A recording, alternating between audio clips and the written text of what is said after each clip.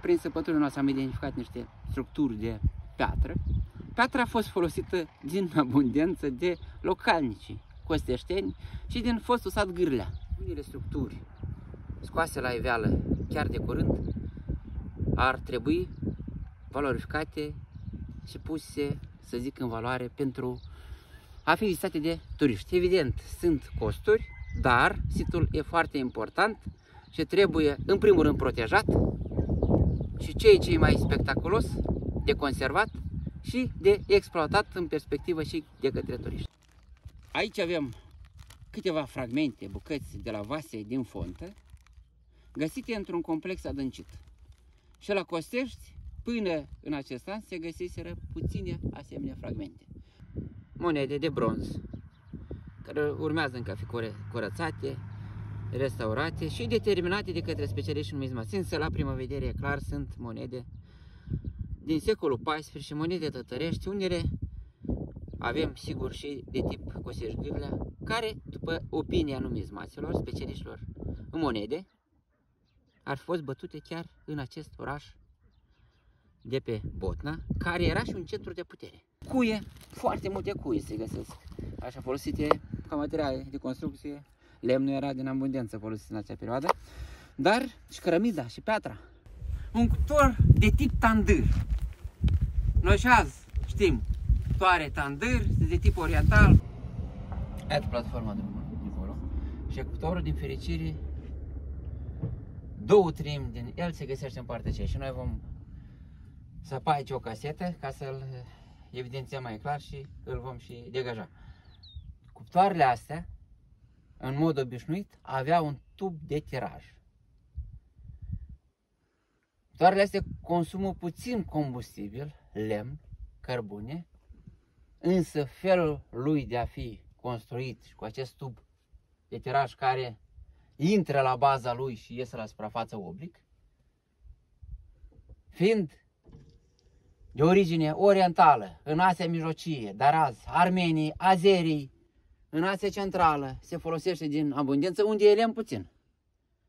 Cu puțin combustibil, ușor și rapid se preparau, mai ales lipii.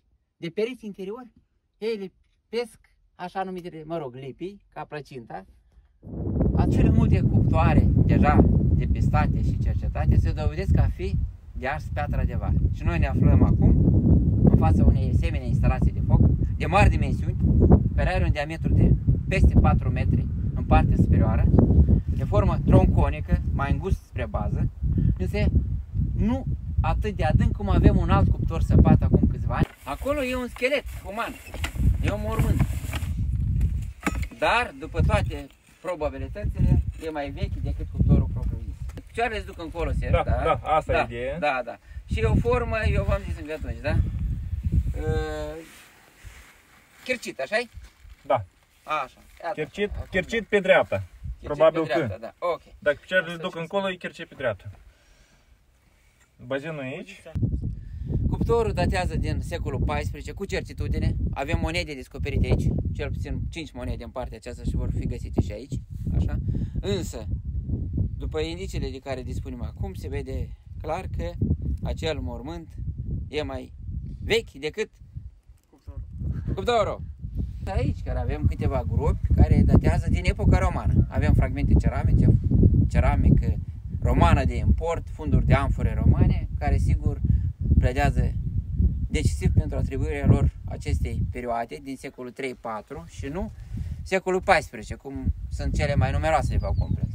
Numeroase fragmente ceramice, între care un vas de import de tip Cașin, spart în bucăți, el la Chișinău va fi spălat, apoi, sigur, restaurat, așa. Și sperăm adus la un muzeu, fie el veni, fie, de ce nu, Costești, că e un sat mare, bogat, pământ cenușos și cu multe resturi arheologice, cioburi, oase de animale, o parte deja la suprafață.